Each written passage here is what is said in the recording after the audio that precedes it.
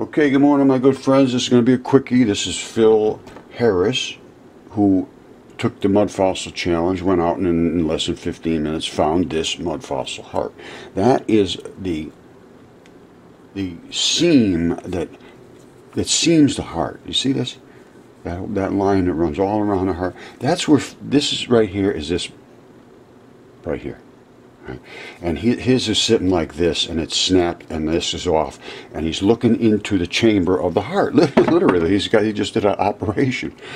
That's the red blood, and then of course over here is where it, it is in the transition phase of sending the dark and I mean the clean and the and the used blood through the heart over to the lungs. So we just saw his heart. I just showed you this heart, and now I'm going to show you uh, ones that when they start to transition. That that is this thing here is that, and this is the blood that was from this heart. It's transitioning. Now, transitioning means what was in here originally was blood.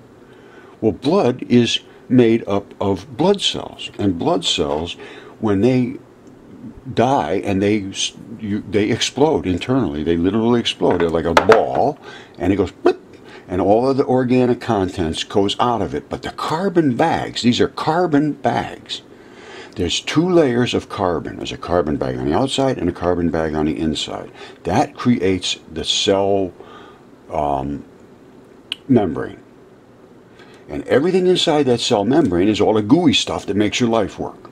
But that cell membrane isolates that stuff from the rest of your body. And that's there's a lot of issues with cell membranes leaking and causing all kinds of issues.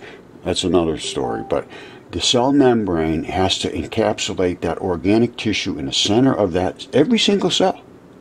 And these every single one of that those little cells on his finger is is from a carbon bag and his still has some a lot of organics in there but once that goes away and the red blood will just it will just go away and go away and go away until you get a tiny little bit of red blood left and then you have a clear heart that is diamond.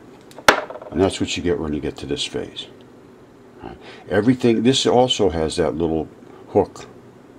It's right over uh, where did I find it? it's it's right over here I think. I think that's the little hook. But it, anyway you see how the blood same thing.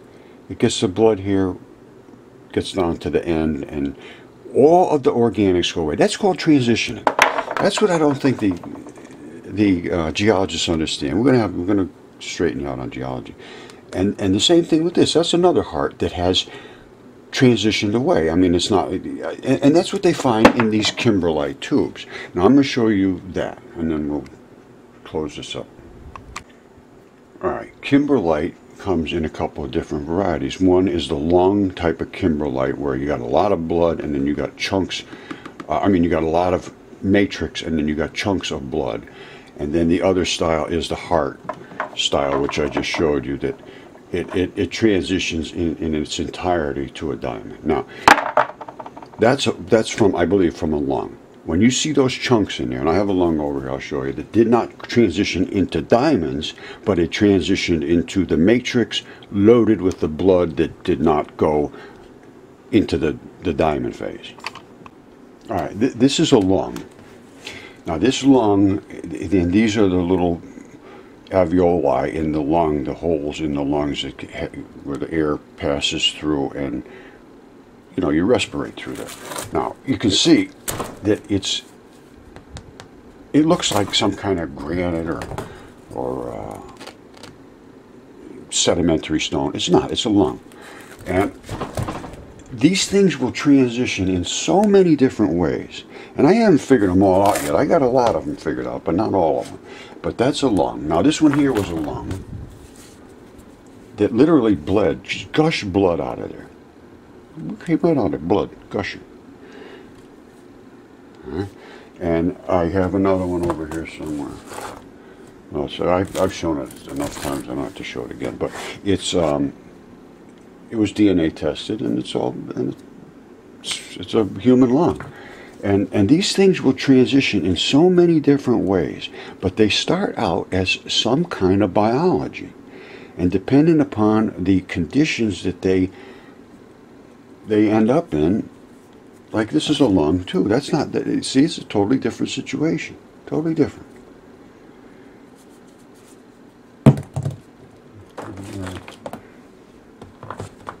What happens to the inside of your body is the blood goes down in red, like this is the outside of the skin or the tissue. I'm not sure what this is, but blood comes in red.